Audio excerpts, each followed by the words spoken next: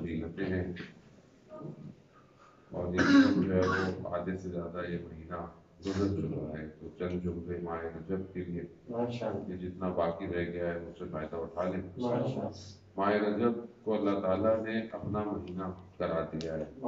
کیونکہ ہر دن ہر رات ہر لمحہ خدا کا ہے۔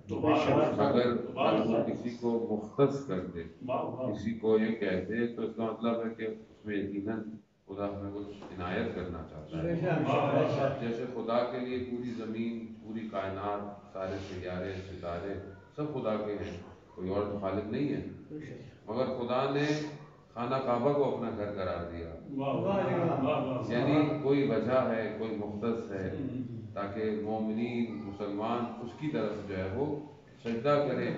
یا یوں کہیں کہ اپنے ولی کی ولادت کی جگہ ہے اس لیے اس کو دیا۔ کہ خدا کی مصلحت ہے خدا بہتر جانتا ہے لیکن خدا مختص کر رہا ہے اس کو یہ میرا گھر ہے۔ اسی لیے ہر چیز جو ہے وہ نسبت رکھتی ہے۔ تو یہ مہینہ بھی خدا سے نسبت رکھتا ہے۔ خدا کہتا ہے کہ اس مہینے میں تم دعا پڑھو استغفار کرو اپنے آپ کو صاف کرو۔ کیونکہ ابھی تم صاف کرو گے تو ماہ شابان میں بیج کیونکہ ماہ شابان رسول خدا کا مہینہ ہے۔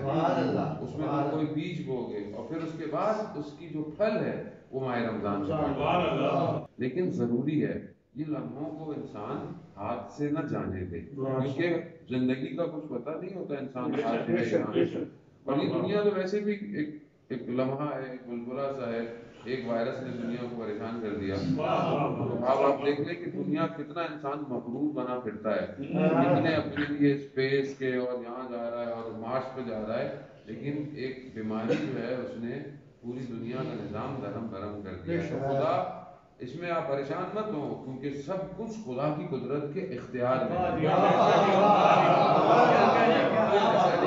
خدا کی قدرت سے وائرس آ رہا ہے کوئی بیماری ہے وبا وبائیں پہلے بھی آئی ہیں اور بیماریاں آتی رہی ہیں سے پہلے بھی انیس سو اٹھارہ میں بھی جب سولہ کے درمیان میں جب اسپین میں آیا تھا تو پانچ کروڑ لوگوں دنیا سے اس وبا کی وجہ سے جو ہے وہ فوت کر گئے تھے۔ تو وبائیں آتی ہیں اور یہ دنیا کا بھی نظام ہے۔ اب چاہیے اس میں تو خیر بہرحال بہت سارے سیاسی مقاصد بھی چھپے ہوئے ہیں۔ اکنامیکل وار بھی ہے۔ سوشل وار بھی ہے۔ سائیکولوجیکل وار بھی ہے۔ لیکن بہرحال ہمیں یہ دیکھنا ہے کہ ہم کہاں کھڑے ہوئے ہیں۔ اگر ہمیں پتا ہے کہ خدا کی قدرت میں ہے تو ہمیں اس خدا کی قدرت سے اور قریب جانا ہے۔ کیونکہ جب انسان مشکل میں ہوتا ہے تو اس خالق کے اور قریب ہونا پڑتا ہے۔ لیکن دعا توسل یہ بھی ضروری ہے۔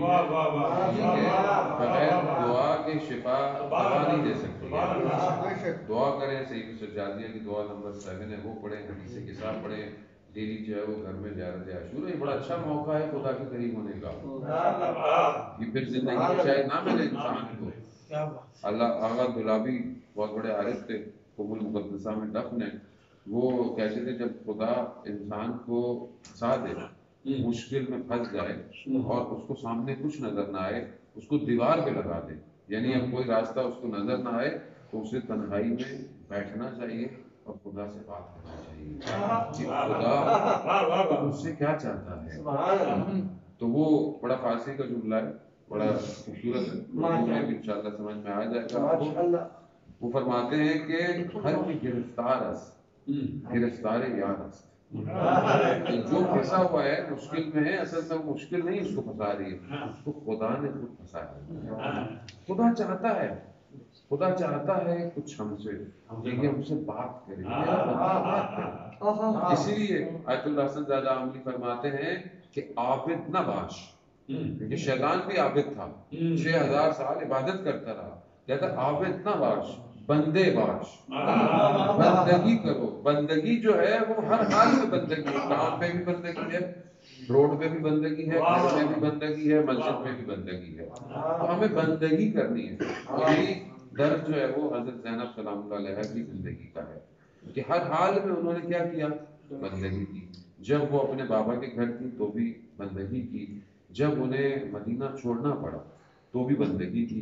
اور جب وہ سفر کرتی رہی تو بھی بندگی کی۔ اور جب وہ مشکلات کو دیکھا روز عاشورہ کی تو بھی بندگی کی۔ اس کا اس کی جو ایک جو وہ ہے وہ کہ آپ یہ دیکھیں نا کہ وقت کا امام۔ وقت رخصت۔ اپنی بہن سے کیا کہہ رہے ہیں؟ یہ بڑا ہمارے لیے درس ہے۔ کہا کہ بہن تہجد کی نماز میں مجھے یاد رکھنا۔ یعنی اتنی مشکلات کے بعد آپ کے سامنے تو میں نہیں پڑھا لیکن اتنی مشکلات۔ اتنی مشکلات کے بعد ہم پہ تو ذرا سی مشکل آ جائے ہم نماز نہیں پڑھتے۔ ذرا سی کوئی یہ ہو جائے وہ ہو جائے سو ٹھیک ہے۔ وہاں اتنی مشکلات کے بعد نماز نہیں تہجد پڑھ رہی ہے۔ یعنی امام فرما رہے ہیں کہ بہن مجھے تہجد کی نماز میں یاد رکھنا۔